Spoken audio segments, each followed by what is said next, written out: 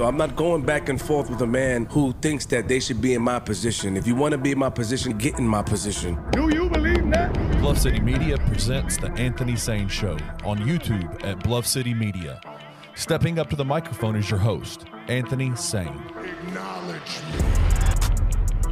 What's going on, everybody? Welcome to the Anthony Sain Show. This is, of course, your host, Anthony Sain. Here in the Bluff City Media Studios, my man, Kenny Stubblefield, is behind the glass. Kenny, what's going on, my brother? Well, the day started out nasty and gross, but now it's beautiful, man. Yeah, man. Uh, beautiful weather outside, man. Beautiful weather for sure. Got a special guest today, my guy, Mike Blevins, man. If you don't know who he is, don't know, don't know the name, You've seen his work, man. He does all the video stuff for the Memphis Grizzlies. He's the director, of course, of the Marc Gasol documentary, which I'm sure all you guys have seen. If you guys have seen Beyond Grit, the super, super great series, uh, one debuted yesterday. Check that out. Yeah, the Uh, behind the scenes with Mark. Yeah, he's gonna be he's gonna be in the studio today. I'm sure it's gonna be a great interview, man. I know, I know you're super excited, Kenny.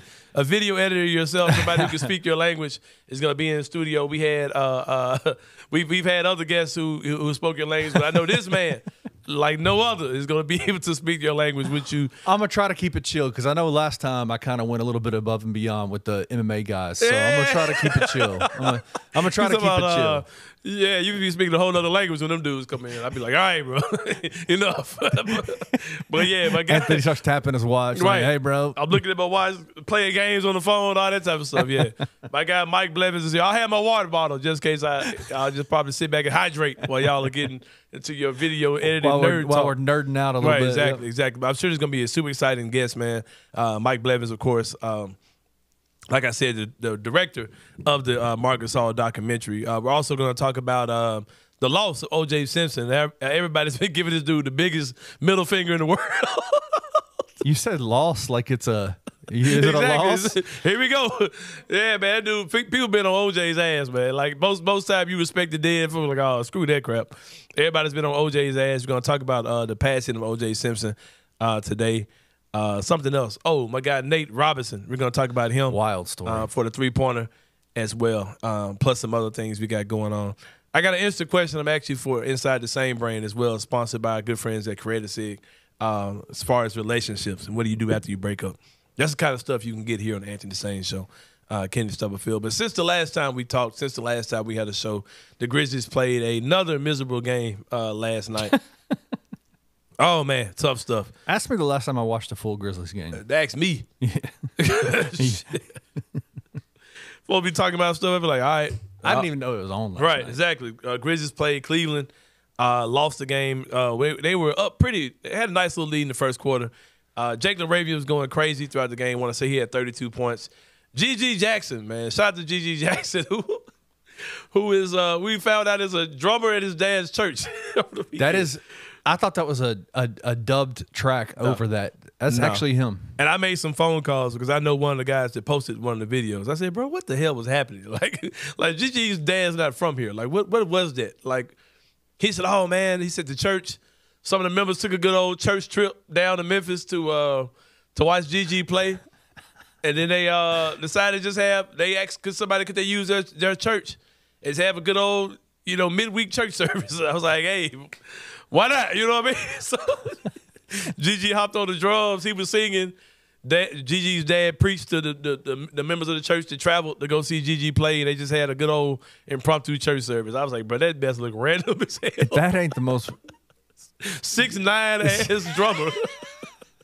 Gigi Jackson. I'm like, bro, what, am- what am I watching, bro? then Drew Hill's writing about it. I'm like, bro, like, Drew, what are you, what are you doing? Were you there?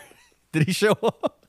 I said to Michael, why your black ass with why your ass with the church? You remember the the Giannato Penny uh, where he watched him watch the game?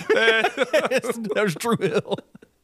Playing with God out here, trying to get a damn story. Her damn story. Oh man. Yeah, but since the last time we talked, Jake LaRavia went off last night, and people wanted to know my opinion. I had people blowing my phone up. Oh my god. Oh, is he still trash? Saying yes, yes, he is. if you want my honest opinion, not much has changed about how I feel, uh, how I feel about Jake LaRavia. But I'll give you guys a quick summary. Um, you know, I've I've got my jokes off about Jake LaRavia. He's a very easy target, bro. He, if like I, I talk about how people can see themselves in a player, right? And he's like, okay, I can see me doing it.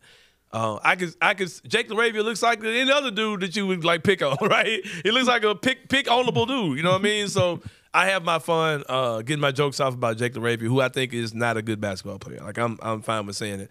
Um, do I? Am I happy for him? Yes. I, anything that gives that man confidence or make him feel like he's the player that belongs in the NBA. All those things are cool. Um, he's a guy that we knock for not having confidence and all these type of things, and I give him props for being able to do those type of things. But this is where I dissect what I'm actually seeing, or not seeing, because I ain't watched a second of the game last night. But when I look at, you know, I look at how I see, I've watched highlights of this stuff, and I've seen his box score, and you know, 32 points, all those type of things. And I saw my good friend Peter Edmiston, who gave you a list of everybody who's had these ridiculous scoring games in April, right? exactly. Come on. and the list was was it was hilarious, including Malachi Flynn. who Malachi had Flynn had 50. and it scored six points since then. Is he an all star? Like what? yeah, um, Exactly. Yeah, exactly. So here's my thing, and this is how this is how I look at basketball and how I view Jake LaRavia. Right, um, Jake LaRavia is a guy that in a regular NBA season, he's a guy that you would ask to be a guy who could come in and just kind of be, of course, the fifth player on the court. He'll be the worst any any lineup that he's in in a regular situation. He's going to be the worst player on the court, right? But he's a guy that you want to be able to, you know, come off of screens, knock down, uh, spot up jump shots, these type of things, right? I just want to see him do that, Kenny. I don't care that he's because those situations like last night and situations like most nights this season, we've been eh, we've been a G League team playing against pros. Like that's just honestly what it's been. It's a, it's the equivalent of a G League team playing against a pro team, right? And in those type of situations where Jake LaRavia has to be featured, he has a long running record of being able to do what we saw last night. And that scored 25, 30 points in the game playing with other G League cal- caliber guys, right? He's he's and we forget these guys are still professional basketball players. They're way better than me and you. They're way better, better than anybody you've probably ever seen play basketball. Like you can put Jake LaRavia in the gym with guys that you call hoopers, and he would tear their ass up. Like that's just that's what it is, right?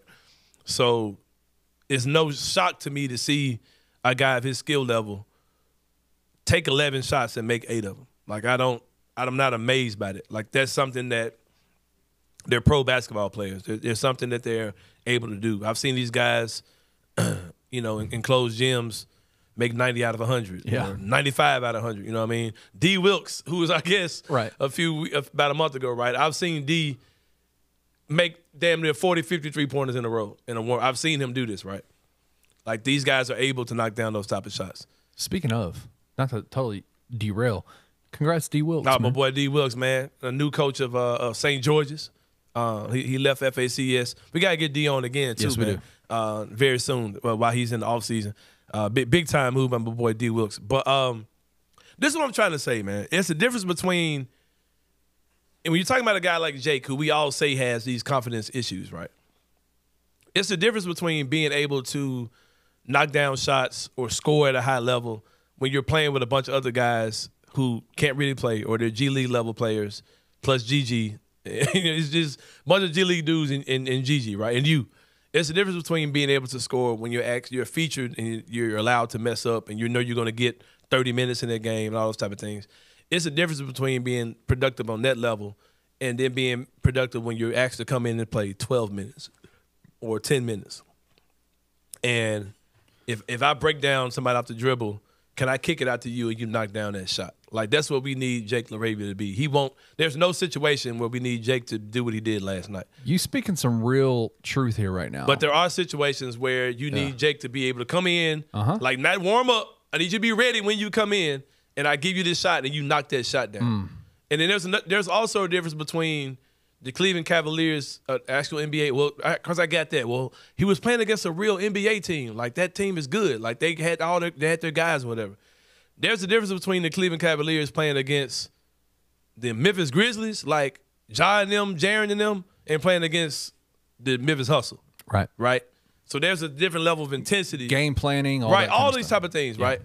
And and if I have a lineup where I, where it's uh, uh, Jake LaRavia, GG, and some dudes out there, teams are gonna be kind of play you, however, stock. right? Like but if, stock play. yeah, but if it's Ja, Jaren, Bane, They've Vince Williams, yeah. Brandon Clarke, whoever out there, Donovan Clingan, Right. Whoever you want, you know, whatever you want to say, and then you got Jake out there too. Yeah. Jake LaRavia is going to be food because they're going to target him. They're going to hunt him on defense, right? But like he didn't get that last night because it's like, dude, we don't we gonna beat y'all by twenty. All we gotta do is, is, is not screw around for about ten minutes, and the game's gonna be over. You know what I mean? So it's just it's junk basketball right now, bro. And it's and I, I made a decision to stop watching these games because it's it's just It's, it's I not, don't, I don't want to be out here talking about Jake LaRavia is the third best shooter on our team. Like We- that's it was a dude who said it on Twitter. I I saw all right, that. man, I relax. saw that. We know You know what what I we need to know moving forward. Jake LaRavia is a career 33 percent shooter, and he's shooting thirty three percent on the season after going eight of 11 Mm-hmm. last night. So his numbers are they, he took a bump after he, what he did last night. He's not a good shooter, bro. Like he's does he have the capability to be sure, and he was labeled to be that coming out of college. But if I I'd rather I would be much more excited if there's a game where Jake LaRavia is playing with actual other NBA talent, guys, Ja, Jaren Bane, whoever, and he scores uh, ten points on no or eleven points on three, three of of five. three of five from Three three. of five from three. That's what'll get me excited. If he's a guy that can knock down threes like that, um, in in the actual flow of a real game. Um, You're speak. I mean, you're speaking like that's just that's, that's what, we're watching now ain't basketball, Yeah. bro. You're Like, speaking a language that I don't think a lot of folks. Yeah. Folks look at box. We got a Yeah. lot of box score warriors, right? Because man, Junior Lofton scored forty something, and, Yeah. and a year ago from yesterday, Right. Like it was literally a year ago, Yeah. And nothing about that made me think think that we had um, uh, we had something. Little, little, little Nikola Jokic. I didn't think that's what we had. You know what I mean? like I didn't think we had six, eight Jokic out there because he scored forty two. Right. Because there's nothing about that that translates to what his actual role would be for this team. Yeah. And when we started giving Junior Lofton real NBA minutes against real NBA players, he looked like a non NBA player. Yep. And that's what that's what the last time I saw Jake with real NBA players, he looked like a non NBA player. Yeah. Now I've had people say, "Well, he could be your 12, 13 man." Okay, cool. I don't care. Like, what does that? What does that even mean? Why are we discussing You know that? what I mean? But that's cool. But if a team says, "Hey, we'll take Jake LaRavia in a trade for this player," or to make hit that roster spot disappear, and y'all don't have to give up a second round pick, I would throw him in that too. Like, there's, Absolutely. it- that's pretty much what he is. Now, would I be super ecstatic if Jake LaRavia turns into a Max Strus type guy on this team, or a guy who could just come in off the bench, a Duncan Robinson type who can make five, six, seven threes in a game like that, in a real basketball game, when it's the Cleveland Cavaliers versus the Memphis Grizzlies, and and this team is trying to knock our head off, and we're trying to knock their head off. I would be super excited for him and for this team because I'm a, guess what I'm a Grizzlies fan. But there's nothing I'm seeing right now that Yeah. makes me think that I should be excited about Jake LaRavia because I'm still seeing him just struggle with basic concepts of basketball. You know what I mean?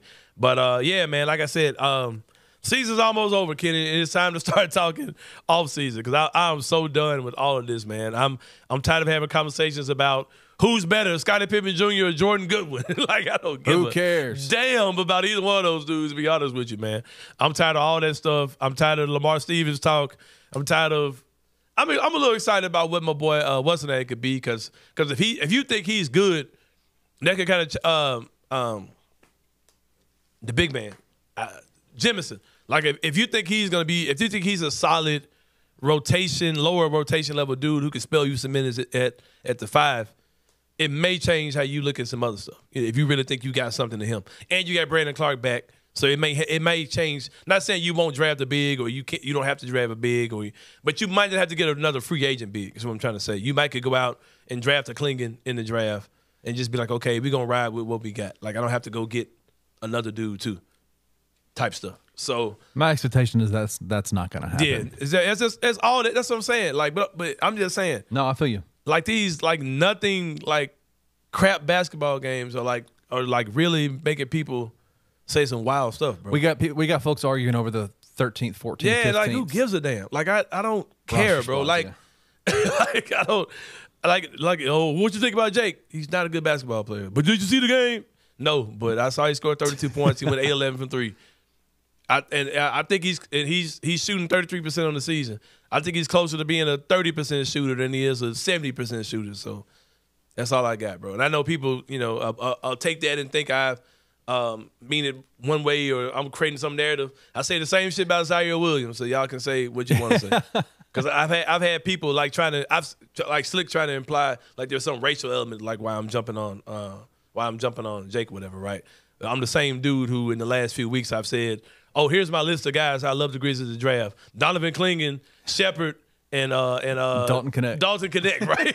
so yeah, Wait a exactly. second. Wait a second. Exactly. now, if you see me out there pretending like I knew something about Alex Sarr, like y'all did with Luka Doncic a few years ago, then you can go there. But like, like, I promise you, that ain't the case. I don't, I don't know anything about Alex Sarr. I'm not gonna pretend to know anything about Alex Sarr. Um, but yeah, so, but yeah, man, that's it. That's all I got. But uh, like I said, man, we're about to go to break. When we come back, Michael Blevins, he's gonna come in, man. Super dope documentary he did on Marc Gasol. He's gonna t- tell us about that. And hopefully he'll give us some because I you know it's two more coming, man. They got one for for, for Tony, they got one for Mike. Got to be coming. Yep. Hopefully he'll tell us something about that. And I know you're gonna get your shit off. Uh, uh, I know you're going crazy over there. I'm ready, man. But got you'll see some- that and more here when we come back on the Anthony Sain show. See you guys in a minute.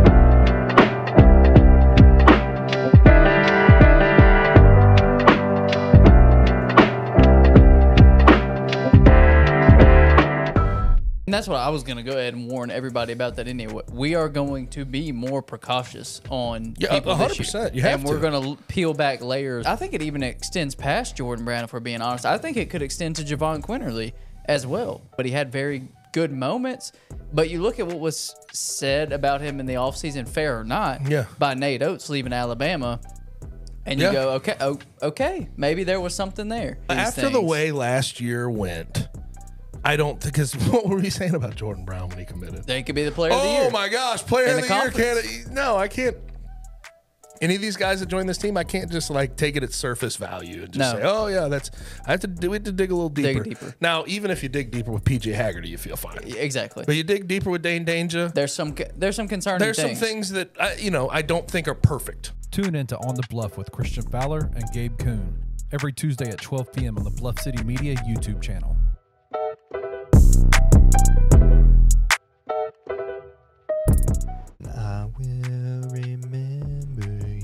After three entire, I think he made it through the third one. Yeah, Yeah, I don't know. He might have left with a quarter left in the third practice. Blue Esposito is gone already. We hardly knew ye. What are you gonna do? I'm just proud of him because you know his dream was to coach at Memphis, and he Hey, got his chance. he had it as a goal. He didn't say coach at Memphis for an entire season. Well, I mean, uh, first of all, when you're getting six times the pay just to go to Michigan, I think you do it. Nobody's gonna sit here and blame him. I'm just, it sucks. We thought that that was a great hire. He was coming in. He was a co-defensive coordinator. He'd been a defensive coordinator before the FBS level. You know, you got Jordan, who's in his really his first year of Yeah. at this level. Obviously, he'd been the D coordinator at UT Martin, but felt like that was a guy that was going to be able to help him out, kind of go through his first season at the FBS level as a defensive coordinator. So I feel like it just sucks. Tune in to Tigers Untapped with TJ Willis and Trey Lasley every Wednesday at 3 p.m. on the Bluff City Media YouTube channel.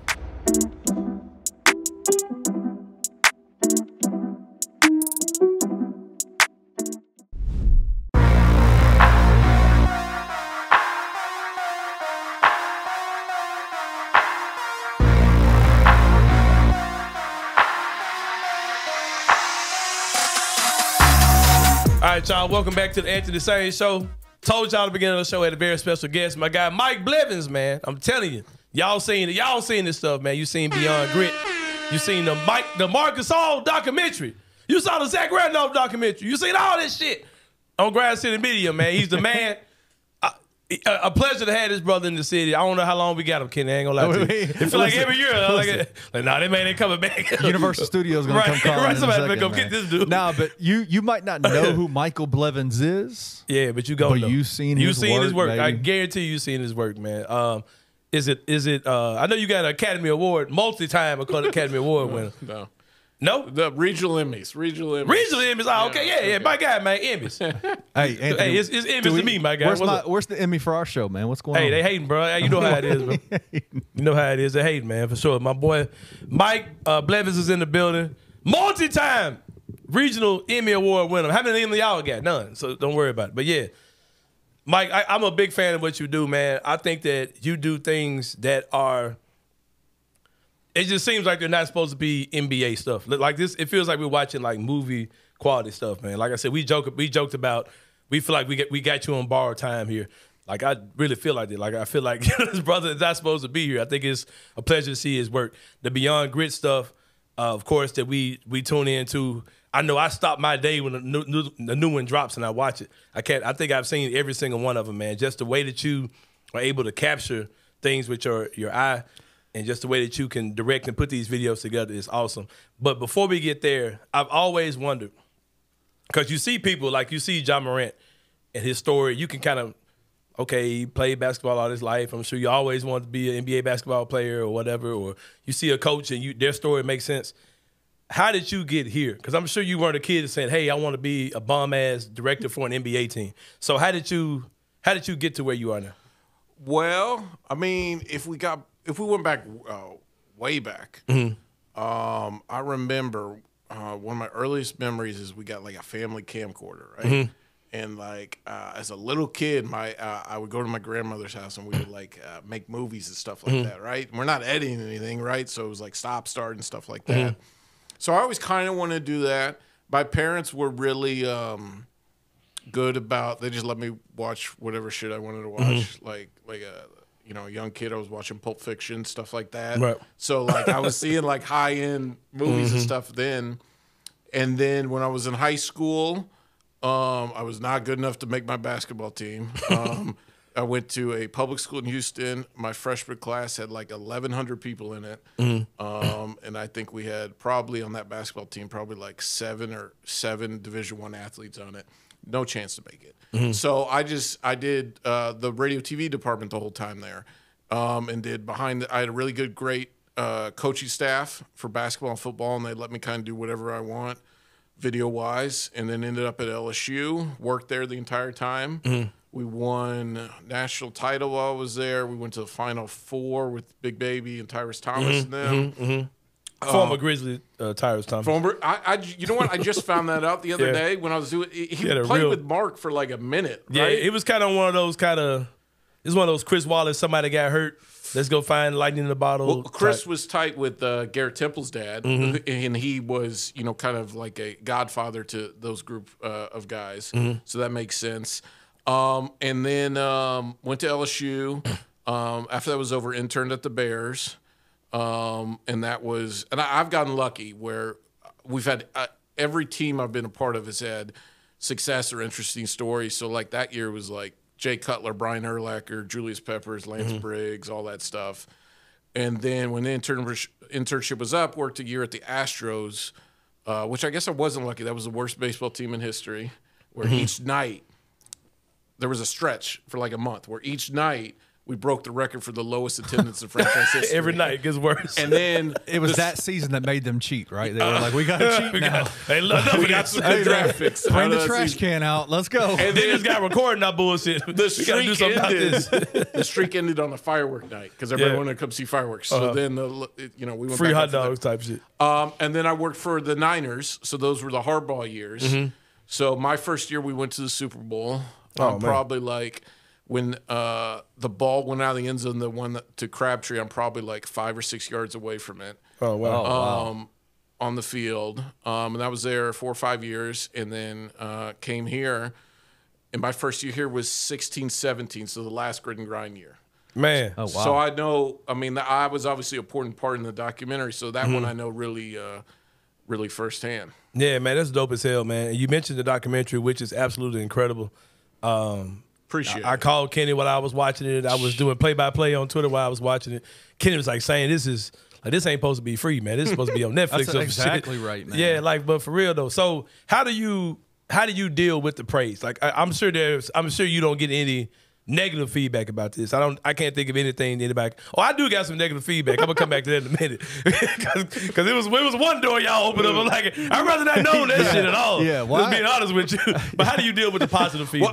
Well, I, I always, uh, I probably shouldn't put that out there so people don't tweet at me on this. But my, my favorite one I always bring up is like I, we had switched the intro song during the year because I do the intro videos too, right? Mm-hmm. Yeah. I, I have a staff of six. But Forgot like, about that. Yeah, Yeah, okay, but yeah. I'll edit the intro videos and like the big hype videos. Yeah. Where like the Glorilla one. Mm-hmm. Um, So and- you do all this stuff. yeah, Oh, that Glorilla one, man. that Okay, y'all, yeah, you that dude. Yeah, you Uh, that dude. So uh, we, uh, I remember somebody tweeted at me, is like, at Mike Blevins, everyone in Section 114 hates the new intro song, Bring Back Drake. Like the entire section, The whole section? They vote. What did they pass out? Like Was it a straw Had a, had a poll? meeting Like- after, after the after the show, Um, after the game. But yeah, I mean, it is awkward. Like I get, um, I will say this: like Mark's been talking about it a lot, Mm-hmm. and I was interviewing Pete Pranica, and and you know Pete, you know we've working together for like seven years at this point, so he knows me well.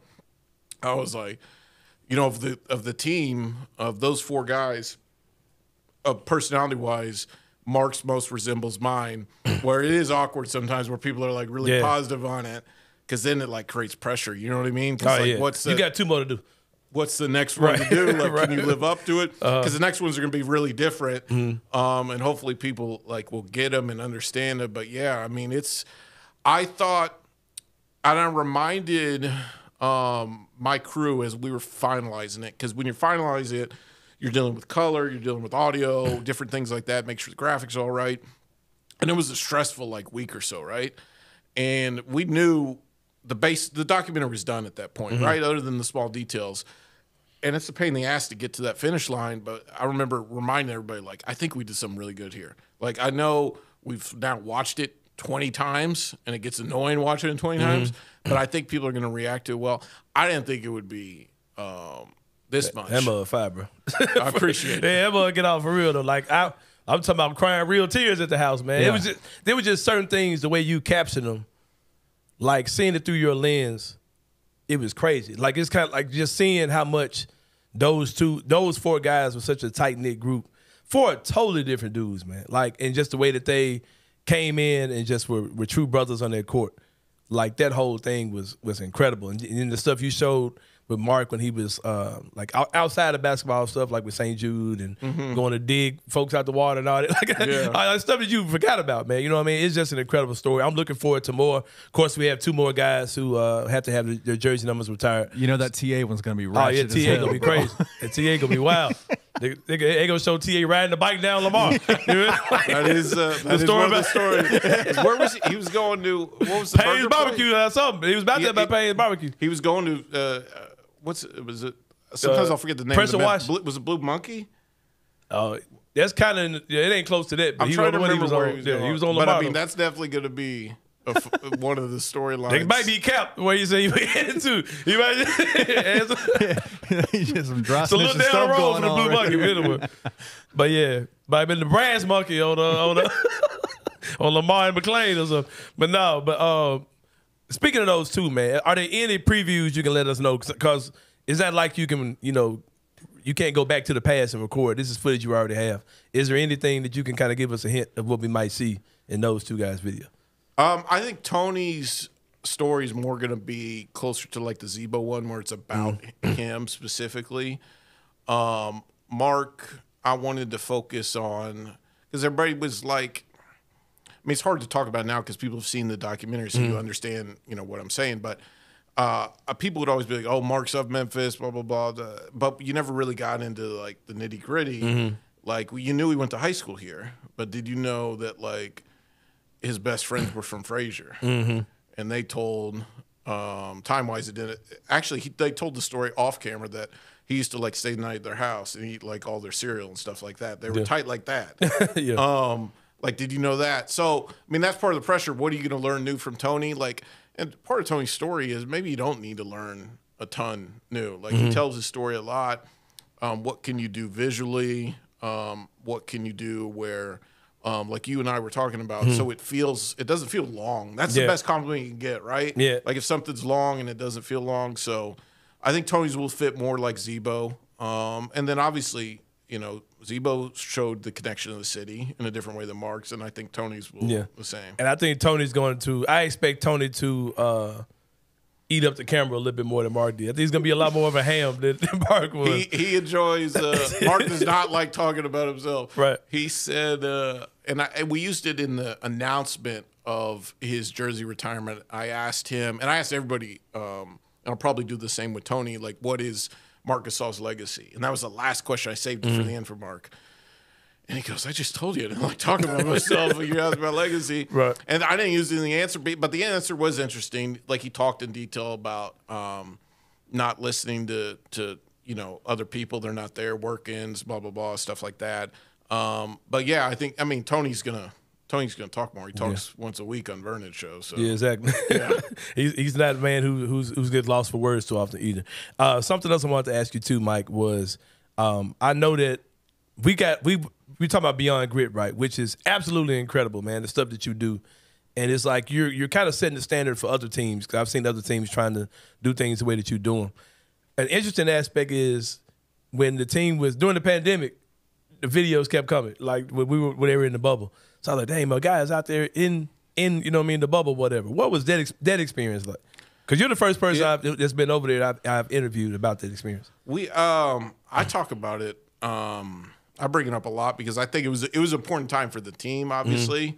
Um at this point we only have um shit, probably like uh, two or three of the guys left. Um maybe, but I think like establishing it and um the guys that were there then taught the next guys because we I mean we worked a lot there. Like the team worked a lot and being able to cover that, be around the team a lot um, I think helped me understand the team more. I think it helped them like understand me more uh, because all, all we had was you know I forget what the traveling party was. It was like 33, 43, whatever the number was, and that was it. Like nobody else was in there, and it was just Right. kind of us and like. Uh, Somebody's room, a player's room was below mine, and like somebody was to the right of me, and like we just had this subsection. We ate together, we fished together at night. Um, we did that episode where Jonas Valanciunas was fishing with everybody. Forgot JV was on the team. Yeah, Yeah, Uh-huh. we got um, JV fishing. Yep, that was a big thing. we Yep. got uh, Bass Pro did a bunch of stuff,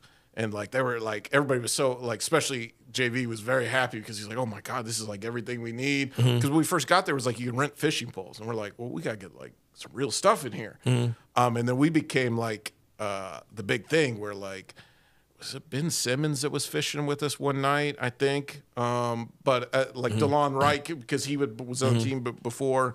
Um, it was it was wild. It was it, it was the closest thing uh, to uh, we were talking earlier being at summer school at LSU, where it's like, oh, you see like Big Baby walking around. Oh, you see Glenn Dorsey. Uh, you see Matt Flynn. Like it was like uh, it was like being at school um, with with you know the best NBA players in the world. Well, I'm sure that I'm sure that your camera was rolling a lot of B-roll or whatever, and I'm sure other people's cameras was recorded as well. I always say that that 30 for 30 on the on the bubble to be fire. Like, if like I know a lot of stories you probably can't tell, but I'm like, on a scale of one to ten, how good would the the bubble documentary be? I will say people think it was more interesting than it was. It was for our 40 days or I forget how long we were even in there. Yeah. It was it was really uh it was I mean it was there was a lot going on in the world then. Um so I'm not complaining. Uh, but it was it was relatively boring. There were card games, there was cornhole. Um, James Harden and Chris Paul and them were playing cornhole with us. Oh, there, was a, there was a cornhole tournament amongst the teams, different hotels. Who won? I think our staff, I think Konchar and a member of our staff finished like second or third, but I forget who. Okay. Won. Jenny was Honestly, that, good. that doesn't surprise me in And the nah. slightest. So John Konchar that was John throwing the ball, throwing it backwards, is a- Yeah. He's slamming them joints. but I mean, like when you do these documentaries and stuff like that, like you look at the Last Dance one, um, they got some good stuff, but a lot of that was like, oh, this is footage from 30 years ago, and that's why it was interesting, right? Like if you watch Beyond Grit, you're getting way more access than Yeah. the what Man, you saw so in good, man, The yeah. Last Dance, like you're seeing guys mic'd up, you're seeing stuff behind the scenes. Um, so when you're doing a documentary like that, it, it comes down to how well it's produced Mm-hmm. and what people say, um, than kind of what you see. You know what I mean? Well, I got one more question for you. I know Kenny has some he wants to ask. you. I'm gonna sit down and be over here drinking water. Right? I'll talk about this, but he's gonna be talking a lot more technical stuff for you. He, he's I know Kenny's super excited behind the glass, but um, the question I had was I know it's hard for me, and I know it's hard for Kenny covering sports and analyzing sports and creating commentary about sports. I know it's hard to just kind of watch the sport, watch a game without like thinking on that type of level. And I was like, Ken, I wonder what it's like for this dude who probably sees the game at a totally different level than how we see it. Like you're looking at it from a cinematography standpoint. How, does, is that a thing with you at all? Or is this just something I'm assuming that you probably deal with? Uh, it's um, Yeah, it is difficult. I think the hardest thing is watching other sports documentaries. Yeah. Oh Like, shit. Yeah. that is that's really hard. Like get this me. garbage off my TV, man. Well, well, it's all. uh, It's more like if I have nothing going on, Mm-hmm. and we're not retiring to Jersey or it's the off season or whatever. Sometimes it's hard for me to watch it, and there's also ones where it is, um, no knock on them, but there's certain ones where it's like you're not really invested in the story where you're Mm. just you're just it's paint by numbers where it's like here's a basketball player story blah blah blah. Here's a football player story and it's all feels the same. Those ones are are really tough to watch. Um and i think like this sort of fits with your original question where like i try not to watch and i think this helps me i try not to watch other teams content. And certain people might be like that's stupid i don't know but like i get more inspiration like watching a, a really good movie.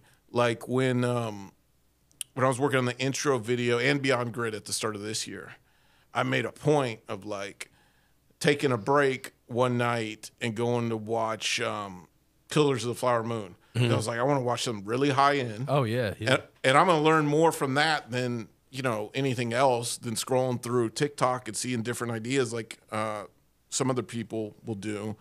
Um, and I'll get more inspiration from that, or watching like a Stanley Kubrick movie. Like he'll do more tricks, like we were talking earlier about lenses and stuff like that, than like somebody else is doing uh, for a team. So I'll, I'll get more inspiration from that. Yeah. I, it's tough for me to watch certain team stuff because it, it all becomes the same, and that's Right.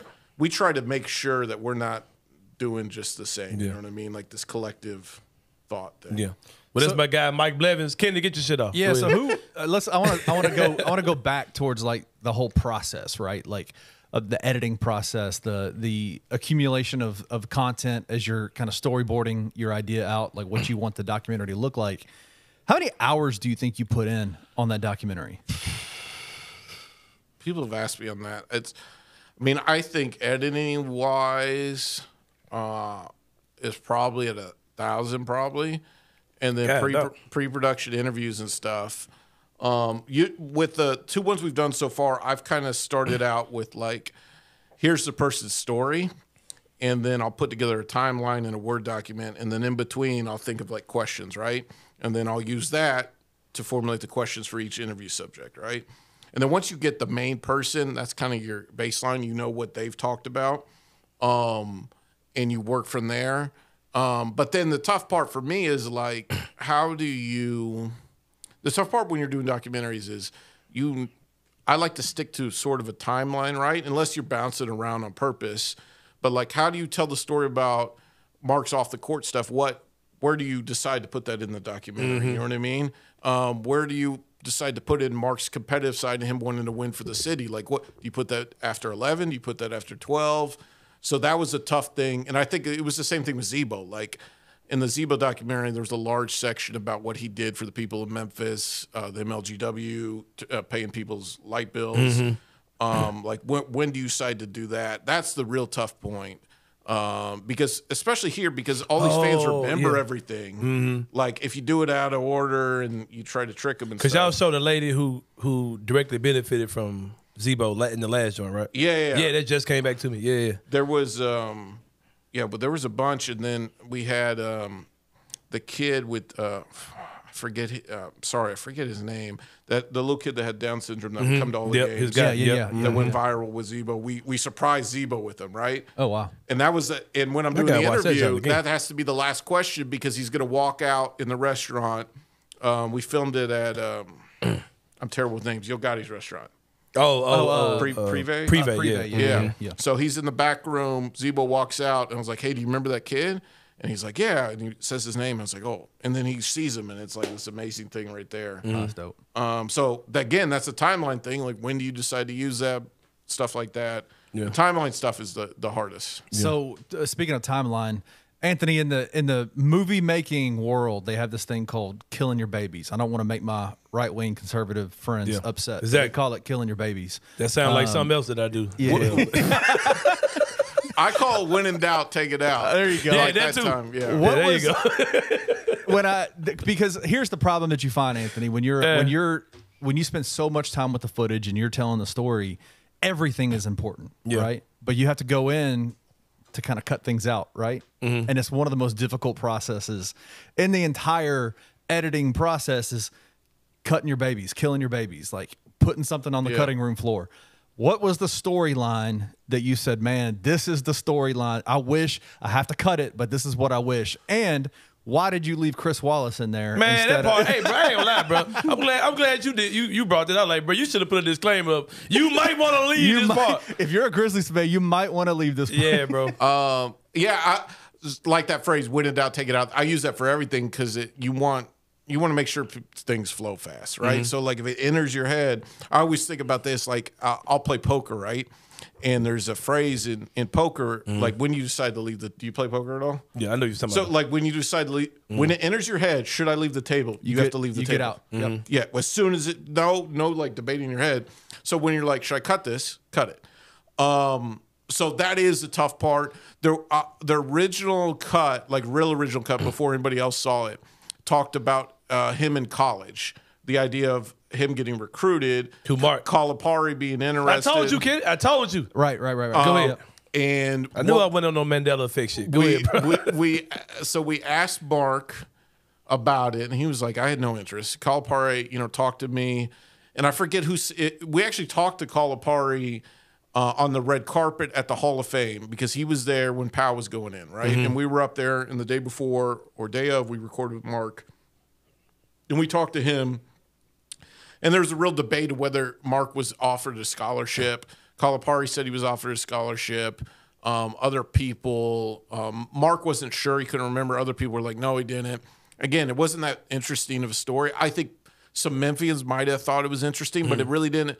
Again, like the the important what the driving force behind the documentary was, and it was nice that it was um, the driving force behind his speech was the ring. Like, why did he get grit and grind in that ring? Um, and he talked a little bit about it in the ceremony. But the point of the documentary was why did he get grit and grind? Why did those three guys matter to him? Why did Memphis matter to him? And like whether he was going to college or not, um, really, really didn't. Mike, I, I- I hear you, bro. I would have, I would have as a, I would have much rather have known. I knew this story anyway that that Calipari had some interest in Marc, right? Yeah. But I would have much rather known how close Marc was to being a Tiger than for Marc and Powell being Grizzlies at the same time. I did not want to hear that story at all. That's, did you when you Oh, heard that when they talked about that? Was that new to you too, Mike? Um, so Because that's new, that was new to That was new to because the whole narrative was that Powell wanted out of here like a co- hell, demanded and that outta was not the truth. so Powell, um, now y'all would know better than me. Uh, Powell hinted at at one point in the interview something happened the year before where, uh, and I can't remember if he said Chicago or somebody, not even in the documentary, mentioned there was some trade potentially with Chicago the year before.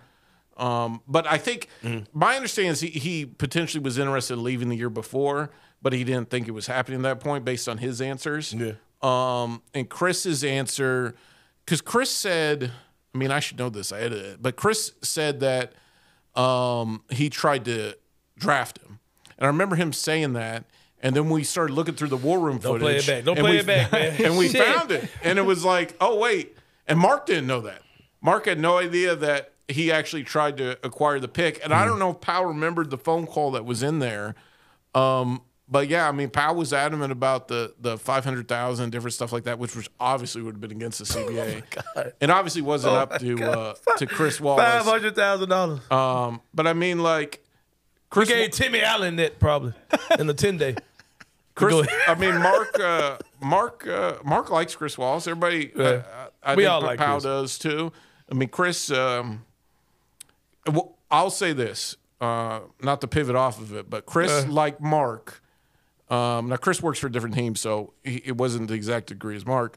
There was a lot of like we, us. Like Chris is very uh, proud of what Oh, he they accomplished Yeah, here. he should be. And I, a lot of the people that were really invested, and y'all would know better than me, the real Memphis Grizzly people will always root for this city and the team. Oh yeah, for sure. And Marc is the apex of that, and then everybody else is kind of below that. Um, but Chris, Chris is up there with them, where you know their goal would have been to to get to a championship. And some of the moves Chris did, y'all got y'all got hella close that Yeah. that one year. Yeah, and got- even in Tony will talk about other people talk about that 16 17. Um, where we took the Spurs to six. Like if we had Tony, you know, maybe we take them to seven. Maybe we win that series.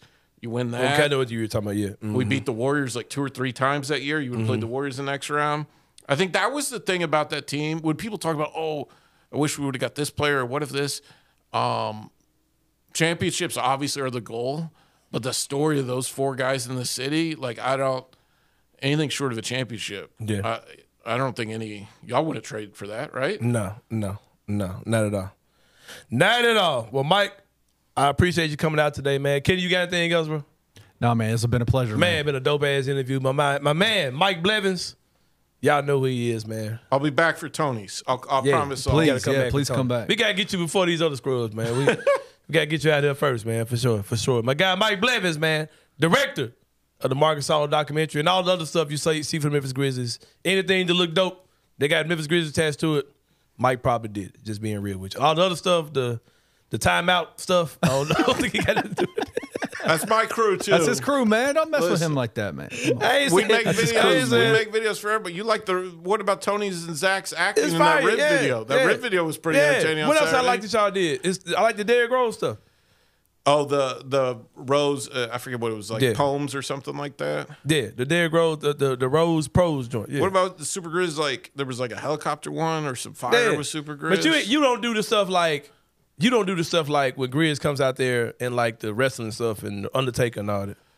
No, we well, I mean, we have a game entertainment crew for that, but any of the pre the post production stuff, um, so anything that gets that's got to get edited will go through my. No, I ain't talking about the video stuff. I'm talking about like the stuff they be doing. That's like it's the skits, the skits during it. that and uh, the In-game stuff that- arena stuff. Yeah, the in-game arena stuff. Like the If stuff that everybody in the league does. That like If you see something that looks like it's edited on the video board, I know Yeah, that my shit crew stuff. did it. Yeah, I ain't talking about that. Yeah, none of the I'm live. talking about like the Undertaker with the turkey. I like it. I like wrestling. Yeah. Did I miss the? me too. I'm a wrestling Did guy, I miss the CM Punk video discussion already? I Did ain't y'all- seen it. You haven't seen the CM Punk video from last night? Uh, is Grizzly related? Are you talking about the AEW the, stuff? the AEW. The I heard about In. that, but I don't know what they talking about. Yeah, they showed the video. That was all I could see on Twitter. No, I ain't seen that jump. I hadn't seen it either. No, but like uh, what I was about to say, like when they do um, Grizzly's birthday and all that. I think we we did something for that. We did a. It was a FedEx partnership. It was like a mark tied to it. Listen, I usually know everything that my team does, uh, but I haven't slept a lot in the last month. And all, all- that man I know said he everything did about a Marcus thousand Gasol's hours life. of work with that video. What's what did you say? You say you did a thousand hours of work. Yeah, I mean just on the edit side. I Yeah. mean like it, Damn, that's it- forty one days, bro. I did the math. real Yeah, quick. it really, it really, uh, Shit. It, it was, it was a lot. I mean, it was the toughest thing.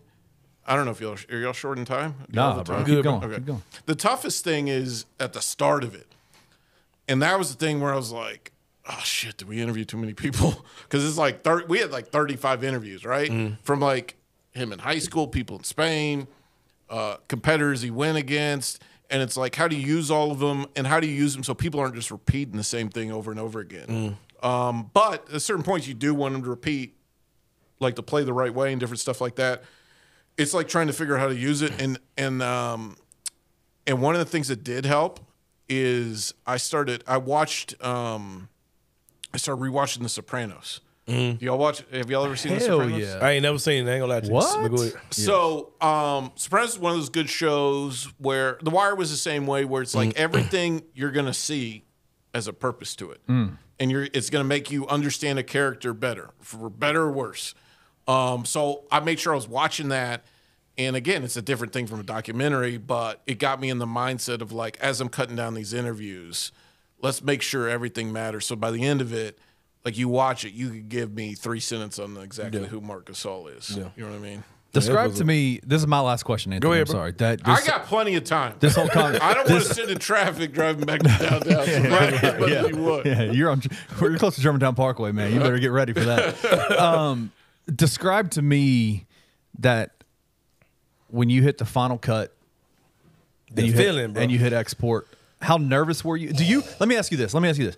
Do you ever? I I struggle with this a lot. Do you ever still feel kind of like an imposter? all the time. There, uh, there's a great quote. Uh, there's a thing I read Um, not in a book, so I'm not gonna pretend like I read it in a book. But it was It an was a excerpt from billboard. It was a billboard. It was a billboard on the It was side an of the road. excerpt from a book. The Facebook post. Germantown Parkway. this, this author, and I guess he was famous or something. Um, he was at some sort of dinner, and he was like, "I was at this dinner. I see all these famous people there, and I'm like, why, why am I invited here? What am I doing here?" And he's just thinking in my head, his head about that. And then this older guy's next to him, and he's like, "Can you believe this? There's so and so here. I can't believe I'm here for this." He's like, "I'm thinking the same thing." And he's like, "What? What's your name?" And the, the older guy was Neil Armstrong. Mm-hmm. And he's like, "Well, why the hell am I here?" You're on the moon, man. So th- I think everybody, I think Marc Gasol definitely has imposter syndrome. Mm-hmm. Like I think from the get go, you know, we we did a formal offer to him, and I mean, all those guys know they're getting retired, right? But we did a formal special thing, call him up and um and offer him, you know, the jersey retirement this year.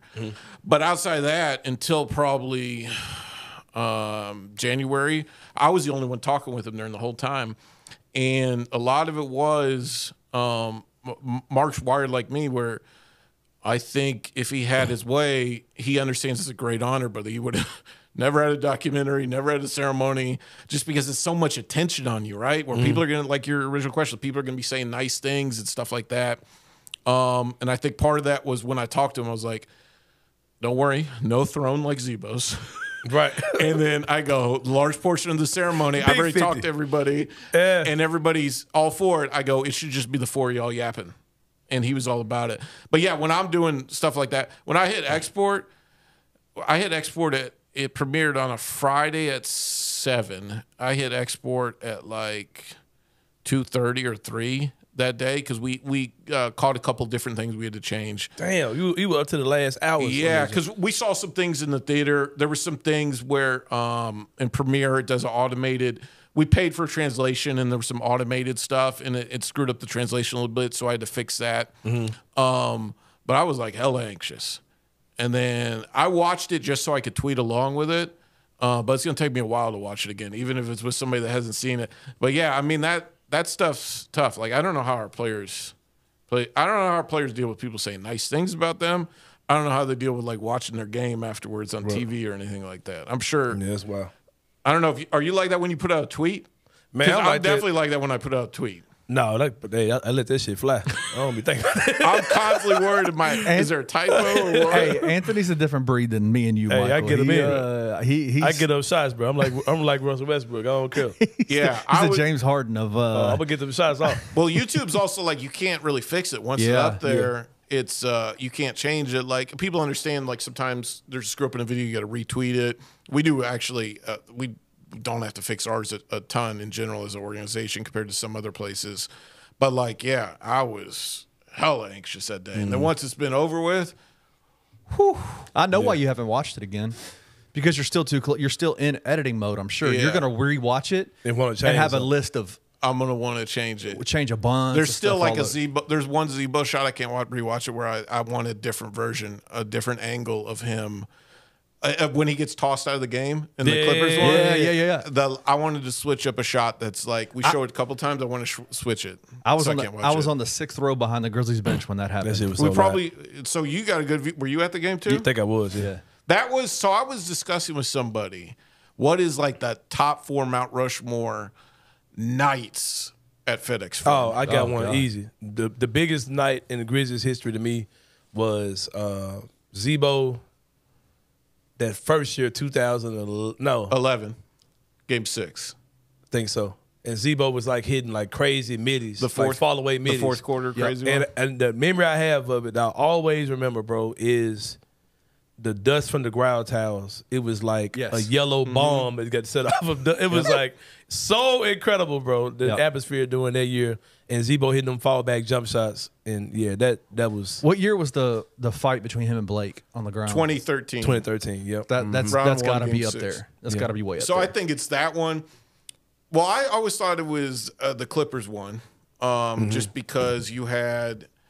Because I hear from people that were at the game, and they were like, it felt like the building was levitating, right? Oh, dude. And it's also like Vernon said it in the in the Z-Bo documentary. It was wrestling in the wrestling town. Yep, like it it's was. the wrestling town outside of like Philly or New York or whatever. Like Memphis is. Mm-hmm. And Memphis wrestling was known, like again, we're going down the wrestling path. But for wrestling historians, they were known for like crazy shit, like crazy gimmicks and people running in and doing Yeah. different stuff.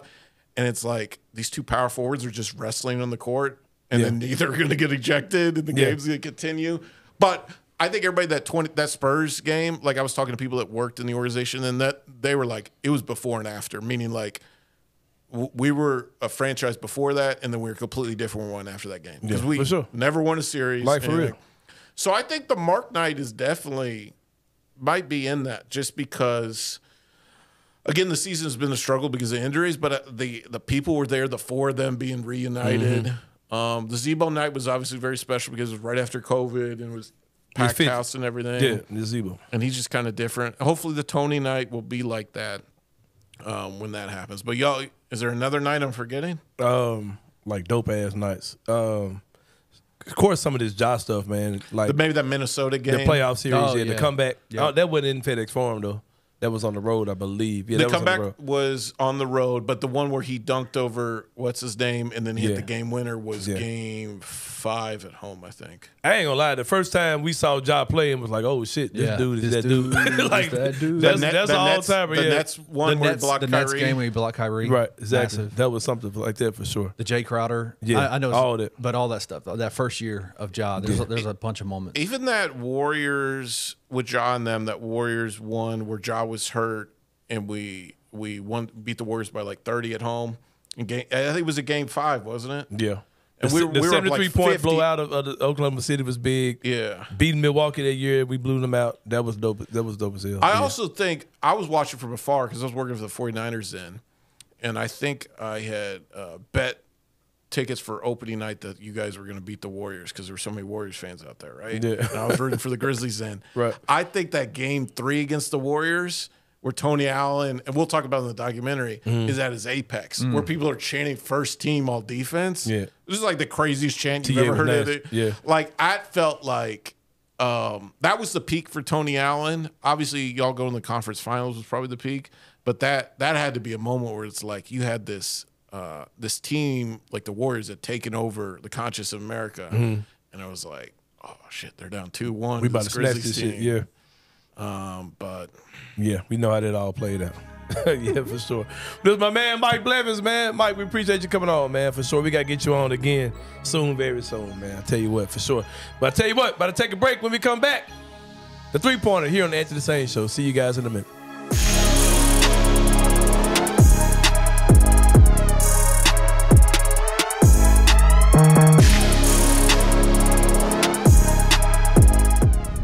How did you feel about Ashton leaving? Uh, indifferent or? what- I mean, it's hard to be like fully indifferent. Yeah. For me, if I'm just viewing him as a player and not Penny Hardaway's son, I don't know if he fits this this. I don't know if he fits Penny's style. I'm with you. It is just wild to see Ashton Hardaway in the portal leaving his dad's Program. program. Yeah. If if, if Ashton's leaving, everything must be shit behind the scenes. Like, oh god, this must be a dumpster fire. And okay, you can have that opinion, but let's also look at the fact that PJ Haggerty, number two recruit in the in the transfer portal, here. just committed there, and Dain Dainja, who's another top forty recruit, just committed. Yeah. So it's like, okay, it can't be that Right. miserable. Yeah, I think it can be overblown. But I also think that people that are just trying to dismiss it and be like, I don't think there's anything wrong with Ashton Hardaway getting in the portal. I think that's a little short sighted as well. Tune in to On the Bluff with Christian Fowler and Gabe Kuhn every Tuesday at 12 p.m. on the Bluff City Media YouTube channel.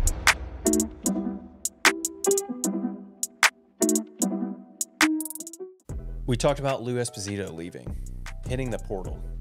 Yeah. And boy, boy, did Ryan deliver on a, a uh, backfill. Yeah, I mean, we were talking about like, oh, it's got to be a very specific coach. Like, it's got to be a, someone who has DC experience, but they also are going to have to find a D line coach. Like, oh, who are they going to hire? And I think they figured it out. TJ, when we had a full DC opening, said, There's no way Nowinski leaves. Why would he? And he seemed correct. A little bit of how this has played out has me questioning whether or not old Lou was pushed out. Never. Maybe Ryan got a little win that uh, Nowinski wanted, a little flavor of that Memphis barbecue. Said, hey, you guys got any bussies near town? Got on down here. Tune in to Tigers Untapped with TJ Willis and Trey Lasley every Wednesday at 3 p.m. on the Bluff City Media YouTube channel.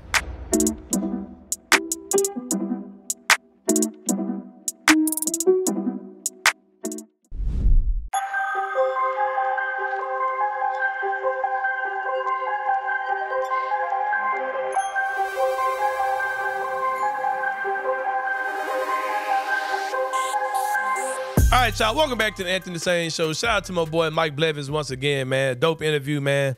Uh, I, lo- I love when guests come on and say, "No, man, let's keep this going. I'm having Yeah, a good yeah, time." yeah, yeah. yeah. He was getting us some good stuff, man. Uh, and if you haven't seen the documentary, go check it out. Um, Mike's just doing an incredible job, man. Um, the three pointer, man. We talk about three things going on in the world of sports. Number one, man. I don't know a lot about this particular story, um, but I will kind of lean towards you on you for this, Kenny. Um, the Kentucky coaching job, from the way I'm looking at it, seeing nobody want that motherfucker. Everybody's turning it down. And I'm, I'm gonna say this, and I'm gonna hand it to you, man, and I'm gonna get off of this. Um, times are just different, bro. The Yeah. Kentucky job, like it don't matter. Like you can be, you can be a super successful coach and like take over college basketball and not be at one of those particular schools. Now, UConn is a is a blue blood, like they're a blue blood, right? But they were in the AAC a couple years ago, bro. That team was in our conference a few years ago, and they came out of that conference. Now they're dominating college basketball. If you got NIL money, you got some swag, all those type of things. You can build a team and, and and and compete with the Kentuckys of the world. Like the name Kentucky just don't mean the same that it meant four or five years ago, even. You know what I mean? John Calipari will tell you that. And like I think a lot of people are like, if I'm um if I'm Scott Drew, I'm like, hey man, I'm cool at Baylor. Yeah, and he said that. He said that. that he I'm said cool that today. I ain't got to be over there and deal with that bullshit. Like I can be right here and, and win win the- win me one. Yeah, Like in Texas with Yeah. a lot of money around him. Yeah. everybody's like, "Well, what about Waco? Waco's just boring." Okay, you think that man cares? That man can go anywhere he wants to. what's cool about Lexington, bro? yeah, bro. What they doing going to the Kentucky Five Kentucky Derby? Kentucky Fried Chicken. Right. Like, shit. but yeah, man. So what what are you Nah, man, it's it's wild to go Uh-huh. from you know they, uh, you know the first names that were mentioned. I mentioned Brad Mm. Stevens. You know, GM. He's they clearly haven't gone after him, or he has told why them would he leave the. NBA a, a GM job to go fool around with Kentucky basketball? I don't know, man. I just that's what I would try. I'd make them say no to Uh-huh. me. But they the name that's been announced now they're going after is uh, a guy by the name of Mark Pope. Um, and Mark oh, that's Pope, where we at now. I know what it is. yeah, um, Former player. Yeah, former player. Where is he at? I It's a black dude, right? I don't. I have no clue. Kentucky ever had a black coach? Oh, Tubby Smith. My bad. Yeah. Shit. yeah. But yeah, man. anyway, yeah. So Mark oh, Pope is black, right? BYU. Um, I if he's a BYU, I I don't Doubt it. doubt it. Doubt it very I'll be honest with you. Uh, no, that man is white Mark as Pope. white as white can be, man. Um, Who but am no, I thinking about then? I don't know, but he he uh so they're after Mark Pope and it's like you you look at a a, a guy like Scott Drew um, over in Baylor. You you go he's the guy that you if this was 10 years ago, he absolutely gone. he'd have been gone. But you're right though. I think, you know, the, the calculus for his family was we we love our life in Waco. We're making really good money. We're in the championship conversation on on a, on a yearly basis. Mm-hmm. Why do we need that drama? Why do we need that pressure? Right. Why do we need that? Is the very reason why Cal left. Man, he's about to be done, and he. You think he wants to spend the rest of his coaching career Right. on the hot seat, getting shit talked every single day by a rabid fan base that's not happy with anything but a championship? Yeah. And it's just like, I get it. I get it. These coaches are like, nah, man, we're good. Man, we're gonna stay where get we're at. Pitino back, man. Get quit playing. bro. That's the question. The other question is Bruce Pearl. Bruce Bruce has been putting some feelers out. He wants out of Auburn. Um, is Bruce Pearl going to go there? Now that'll be the upgrade for him. Upgrade for him. I don't know if it's an upgrade for Kentucky. I don't think it's an upgrade for Kentucky. I think he's a great coach, but Yeah. you know, I I said this uh I said this in the Discord. I think if if Kentucky's serious about winning, they'll go after Scott Drew and not not Bruce Pearl. But it seems like Bruce Pearl might be their their option, other than Yeah. uh, unless this Mark That'll be Pope dope. thing works That's, out. that's still a splash higher though, 'cause you know he's gonna come in there and act a fool. And Oh, he's gonna come get out there wild. painted Take his shirt, shit. take yeah. his shirt off. You know, like he did at Auburn when he got there. hey, hey, that was about ten years ago. Ain't no, ain't telling what you look like under this shirt now. My God. it was wild though. I watched the uh, John Calipari uh, introduction press conference Mm-hmm. today in Arkansas, and it is wild seeing him in Razorback or uh, Razorback uh, Yeah, red. red for sure. Wild. But number two, man, uh, Nike dropped. I got mixed feelings on all of this, bro, because they dropped the Wimbyana logo, right? And it's clean. The video is it- fire. but it don't look like yeah, it's dope concept. but it don't look like that. Doesn't look like a player's basketball logo. It looks like some type of Nike basketball, like it's a brand. Foot Locker Like thing. a- yeah. Like you know what I mean? Like House of Hoops type stuff. It don't look Yeah. like something that's attached to a player. Right. It- I think it's a dope logo. I'm not saying it's not dope. It's clean. Um, and it's kind of it fits Wemby. I get that whole thing. Uh, so they dropped the logo, and then the concept for the shoe comes out today. I'm like, man, if y'all don't get this Yeezy Man. pod ass, I'm like, man, that mess That's looks a- like a foot injury waiting to happen. A rolled ankle waiting to happen. yeah. happen. A yeah, seven about foot AI design. No, yo, yo, ASS to the some, somebody ASS should have designed that joint. It did not. It looks like I, I. I don't know, man. I don't know. nah, bro, I ain't feeling that at all. And I doubt. I don't know. I ain't feeling that at all. No, it. I. I thought it. It looks like a damn alien pod. Like it looks like a. And I think that's cap too talking about this AI design because if I tell my AI design to make a shoe, it don't look like that. It must look like I don't know. What does that even mean though? Like what It's AI cap, design? How did they design it? Like what? What were the parameters that the human had to put in place to, To make put- it look like that. You remember the Steven Adams graphic you did? Angry white man, muscles, beard, Yeah. long hair, Seven foot five dude. looks over the. I'm sure they put alien in there. You know what I mean? Alien technology meets Air Max meets basketball shoe. They probably put all that type of stuff in, but I'm not a fan of how it looks. It just looks like something he gonna tear his shit up in. Hundred percent. And, when they put Victor Wembanyama in, they probably scoured the globe on the internet. It was like um, that dude's probably gonna get hurt one day. they probably said. Man, That's the thing about AI, man. Like it knows, it goes up there and finds all that type of stuff. but yeah, um, I don't know. not a fan. But but I ain't gonna lie. I thought Anthony I thought Anthony Edwards shoes were ugly as shit when I first saw them. Those joints are grown on me for sure.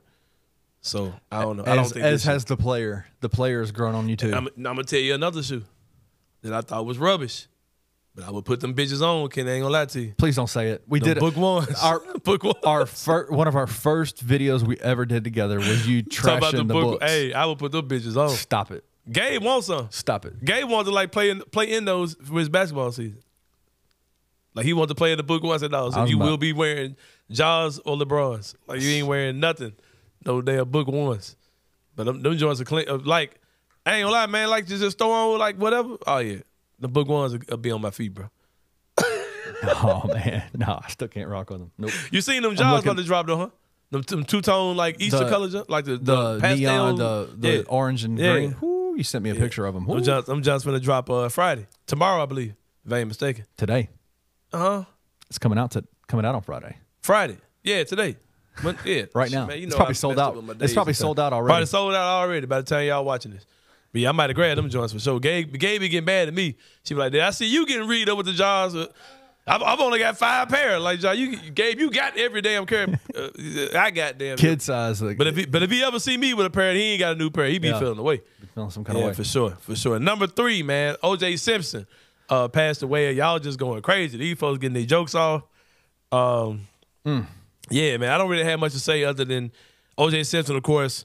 Um, if you're if you're forty, if you're you know fifty and up, you know him as you know one of the greatest football players of all time. If you're my age group and younger, 40, probably 44, 45 and younger, you know him as being part of one of the most publicized uh, Murder murder, trials. trials. You Yep. know what I mean? Ever. And I remember in school, man. Um, oh yeah. when I was in high school, maybe Yep. maybe ninth grade. I remember being, I remember ignorantly probably cheering for OJ Simpson, right? Because just being real, brothers don't get off. You know what I mean? And I remember cheering for that brother to get off in that trial as a 13, 14 year old, however old you are, uh, freshman year of high school. And um, I, I look at it now as a grown man, like, and it's like, man, that dude literally murdered his wife. Um, and I, I know he she was allegedly cheating on him or whatever, but he murdered his wife, and that's also his kid's mom.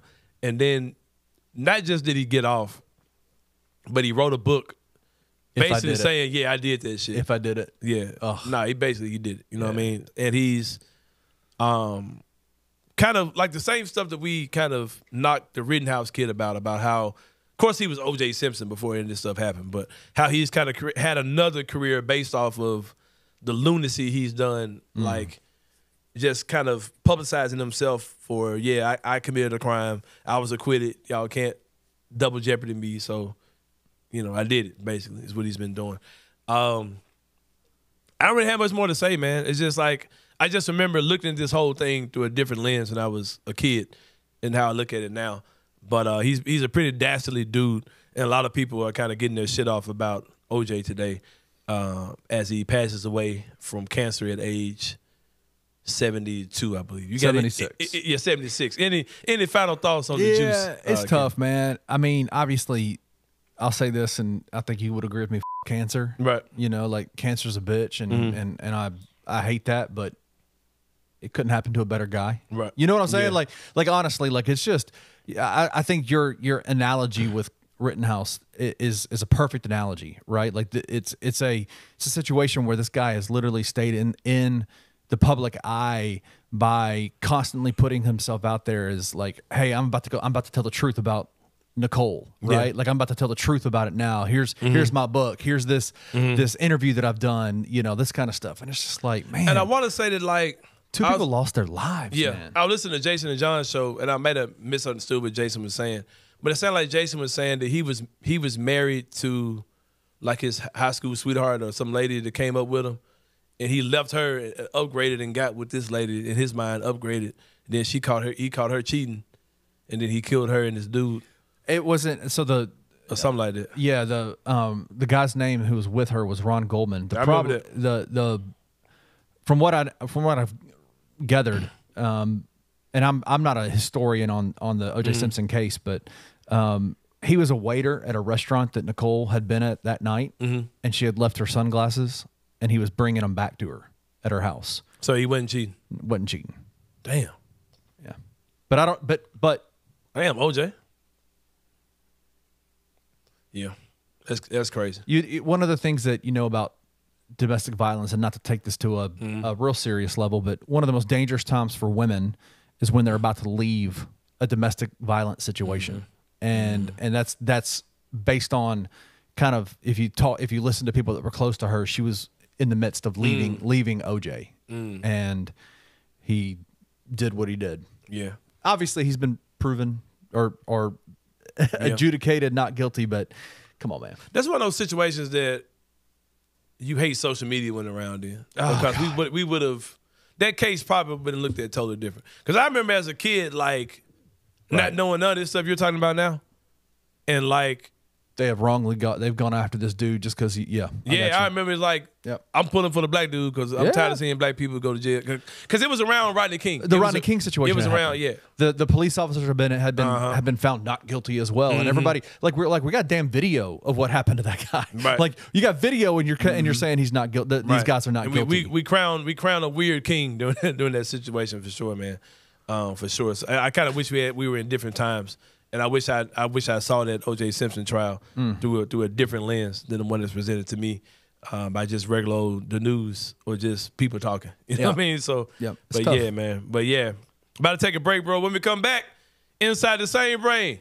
Here, this is a good one. I want to see. I really want to get your thoughts on this one, man.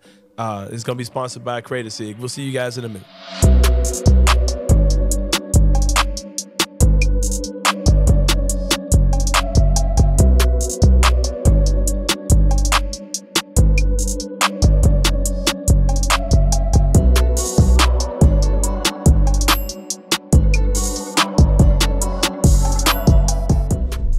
Former Memphis Tiger, um, former Creighton Blue Jay, uh, Jonathan Lawson. Didn't play many minutes at either place. No. No. I like Jonathan though. I wish he would have stayed around last year. I felt that way too because I think he really had some of those moments where you were like, he's got the length, he can handle the ball, he, can can, shoot. shoot. he can pass the ball, And but it, but it's just never really materialized. So my one big pause, I don't know if he's really someone that you want to pursue as a scholarship player when you have so many holes I'll say this: to fill. he's one. Of, he's probably the most athletic Lawson. Oh, by far. Yeah, So definitely. like he can run the floor. Yeah. Um, Yeah, I- and I think he's got a little bit of upside defensively that you could probably unlock. You just got to get him in the right place at the right time. I would like it. I would not mind it in the slightest. Tune in to On the Bluff with Christian Fowler and Gabe Kuhn every Tuesday at 12 p.m. on the Bluff City Media YouTube channel.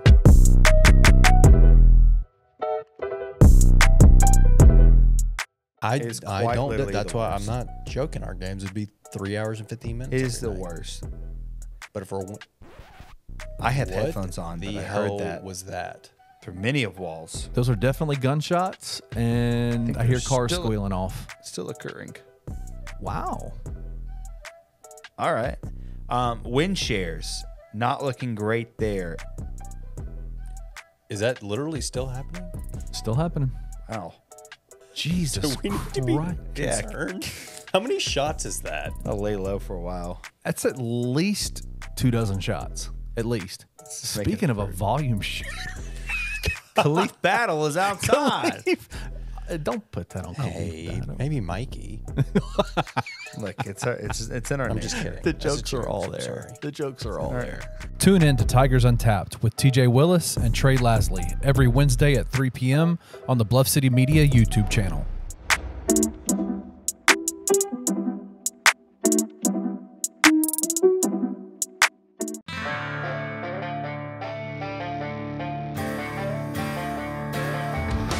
At Create A Cig, our top priority is to provide the best customer service experiences possible while offering the largest variety of vape supplies, legal THC products, and smoking accessories. Our trained sales associates are here to assist any and all customers to help them find the best products available. With our daily deals, weekend deals, loyalty rewards program, and our punch card program, there are tons of rewards to earn to help our customers save plenty of money along the way. Check out one of Create A Cig's four locations across the greater Memphis area and come visit us.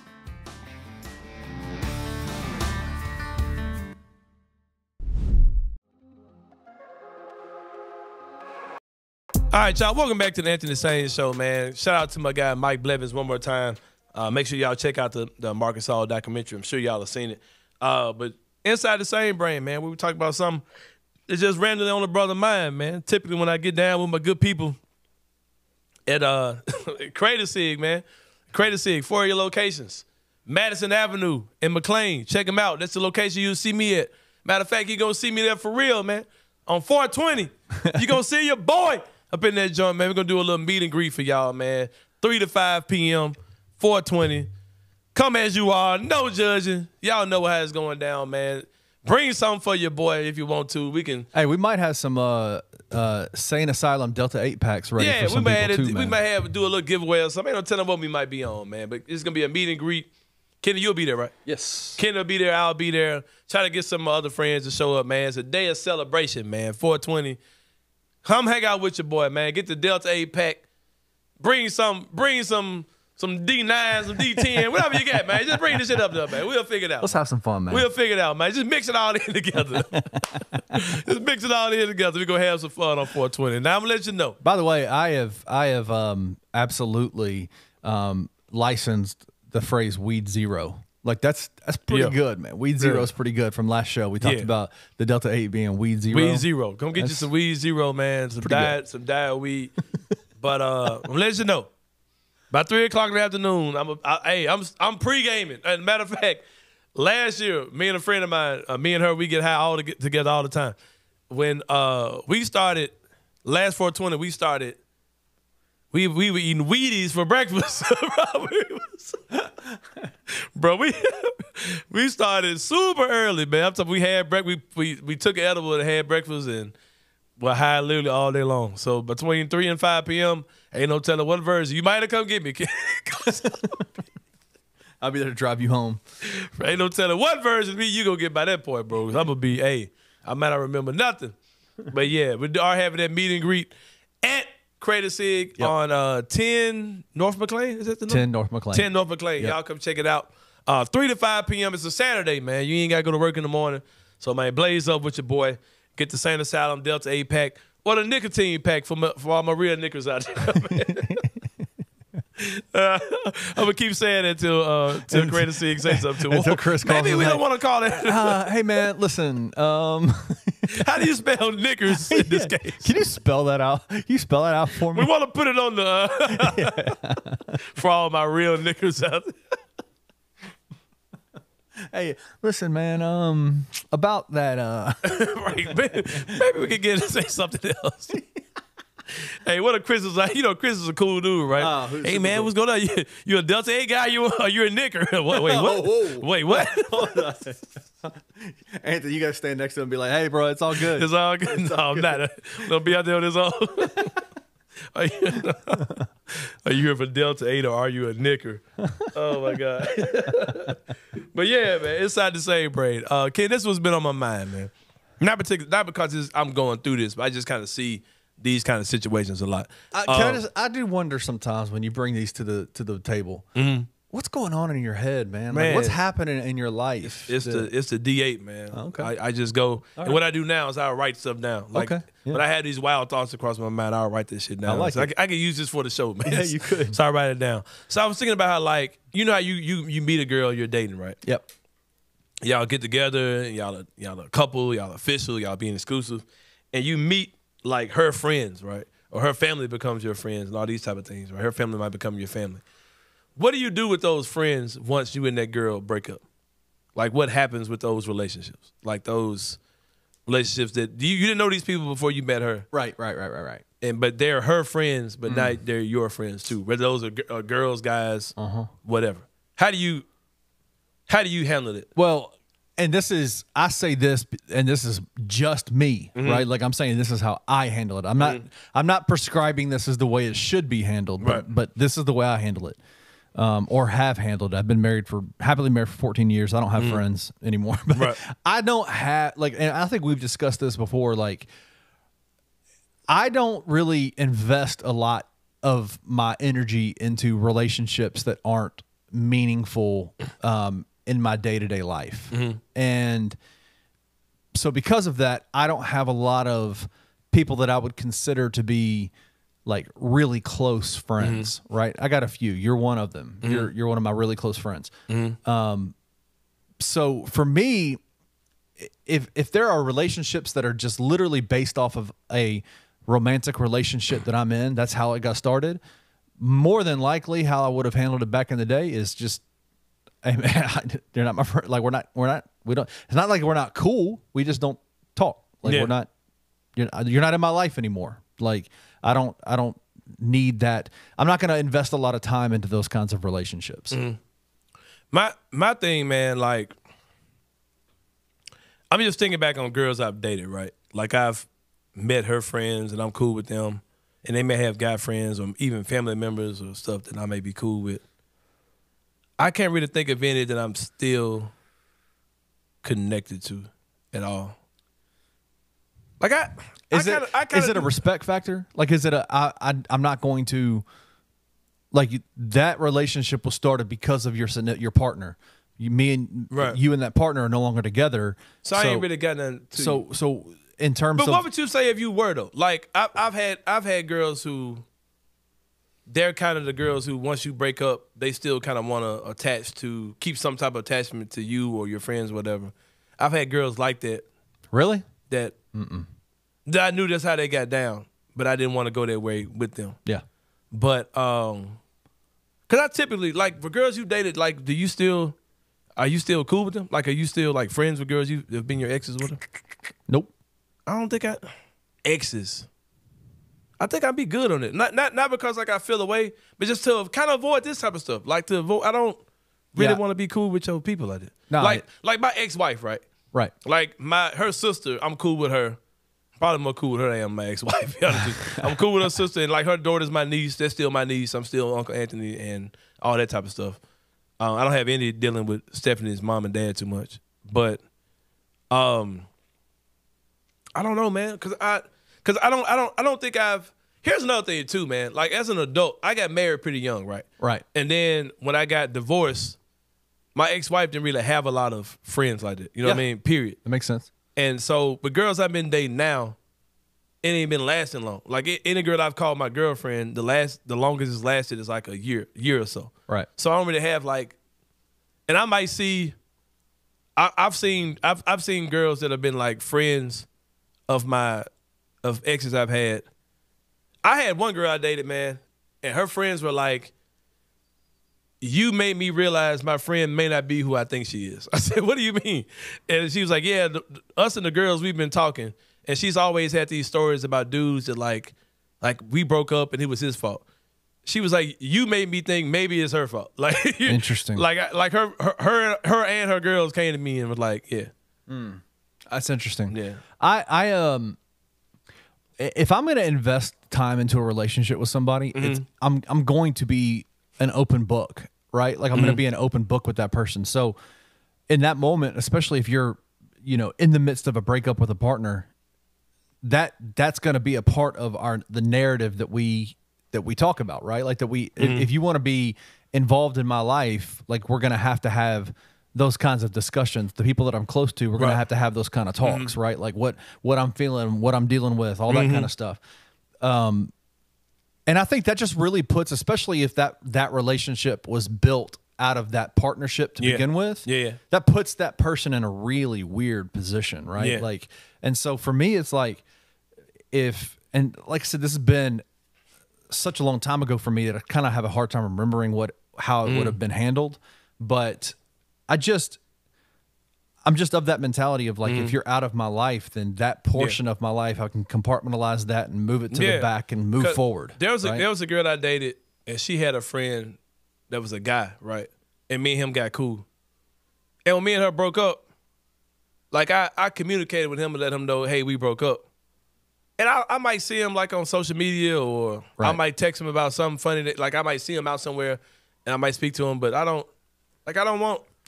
I don't want. I'm, I'm not gonna keep because I've, I've dated some weird girls who like to keep those type of connections, right? Like they want to keep you within arm's length. No, I'm straight. No, I'm good. And it's like I don't really want to be friends with you because like I saw elements of you in dating that weren't friendly. So I don't want to be friends with you. You know what I mean? So Right.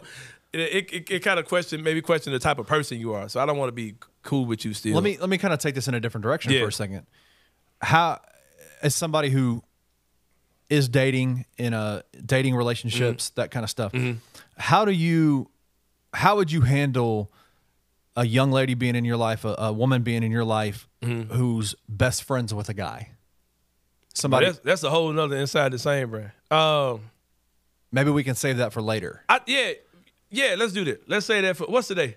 Thursday. Thursday.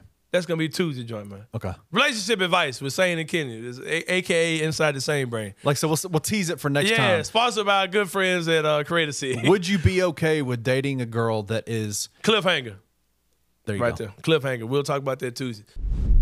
What's going on, everybody? This is Anthony Sain of the Anthony Sain Show. Here to tell you guys about Create A Cig. Creative Sig is a smoke shop located here locally in the city of Memphis. Four awesome locations throughout the city. I'm a big fan of the location on Midtown and uh, off McLean and Poplar. Go check them out, y'all. They got everything you need as far as your nicotine needs, as far as your Delta 8 needs. They got all of that, y'all. Just go check them out. They got the Sain Asylum package, which you can go get different varieties of things on the nicotine side and on the Delta 8 side. Mix those things up. You can come out with a great package. The Sain Asylum package is there at Create A Cig. Let me tell y'all some more about Create A Cig, though, guys. Um, they strive to provide top-notch customer service, quality products, large varieties of nicotine, uh, and legal THC products as well. Customer service, loyalty, and punch card reward programs. They offer fantastic rewards from 50 cent bottles of juice or Salt Nick disposables to 25% off an entire transaction, all earned by making purchases at any Create A Cig location. The staff members are ready to help you and find the perfect products to get you started on your vaping journey and ensure you have all the knowledge to do it like a pro. Mention code word VAPE901 for a one-time 15% discount off all your entire transactions at Create A Cig. I'm telling y'all, go check them out. Great people, super nice staff. Go get the Sain Asylum package, y'all. I'm telling you, it's gonna get you straight, man. It's gonna get you right. Go check them out at Create A Cig. Hey, that's gonna be a good conversation because I can, I can, I can take y'all somewhere on that shit. Okay.